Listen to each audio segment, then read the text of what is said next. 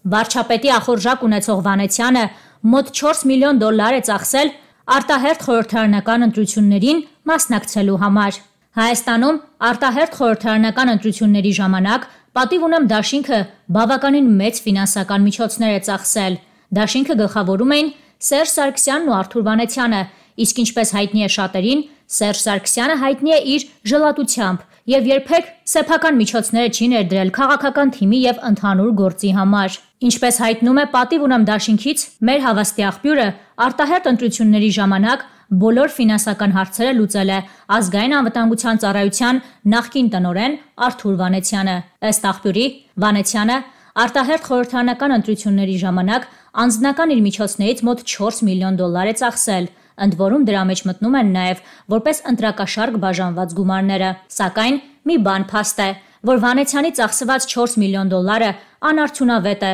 քանի որ պատիվ ունեմ դաշինքը անգամ ԱԺ-ի անցողիկ շեմը չկարողացավ հաղթահարել։ Գրում է Media News-ը։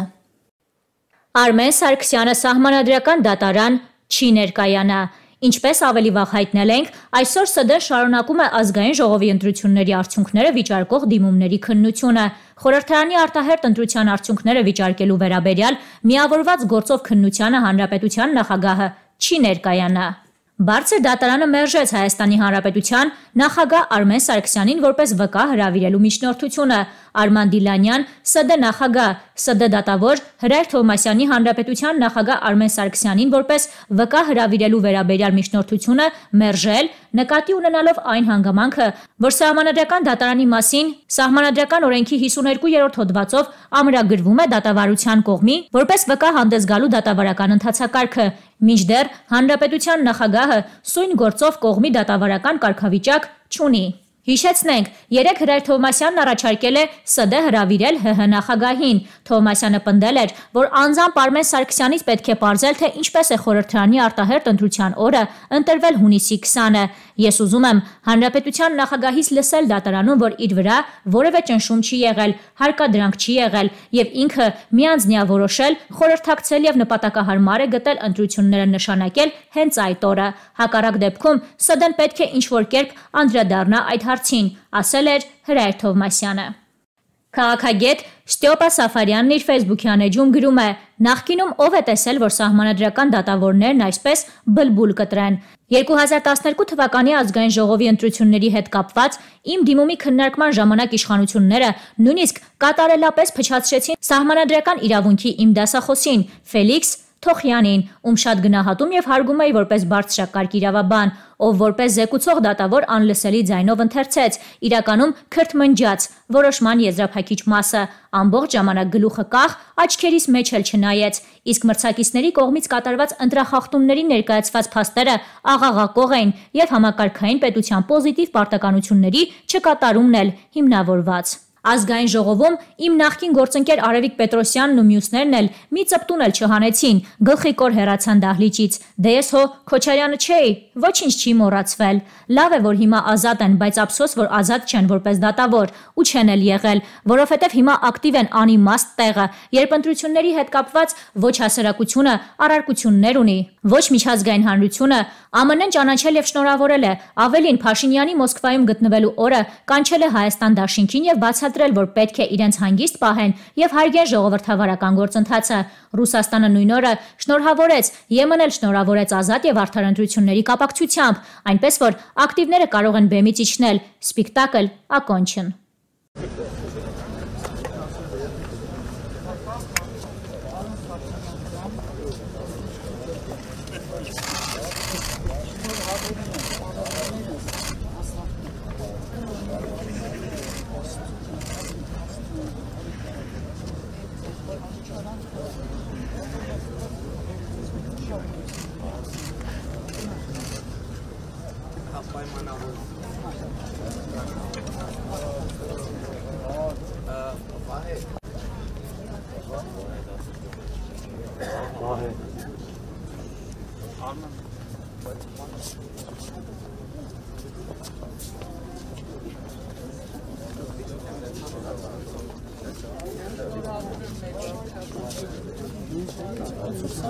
Սասկը։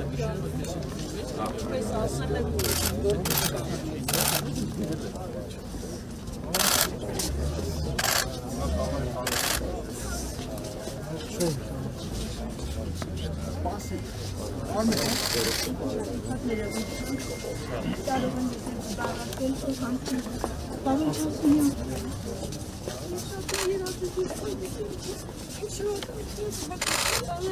Ձեզ ասեմ, խվացի մարի, բայց ձեր սպեսմիսին մասնակցել են Երեպես որ գործից չուզեցի ձեզ գործնել, ես շատ հույսեր ունեմ, շատ շնորհակալ եմ, իմ ցավս մի քիչ թեթևացա, որ դուք գնաց, շատ շնորհակալ եմ, շատ շնորհակալ եմ։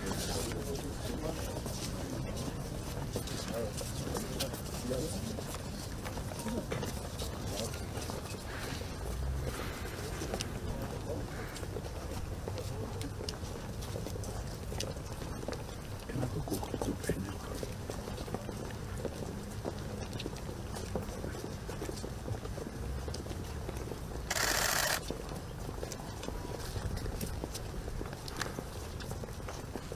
Mm-hmm.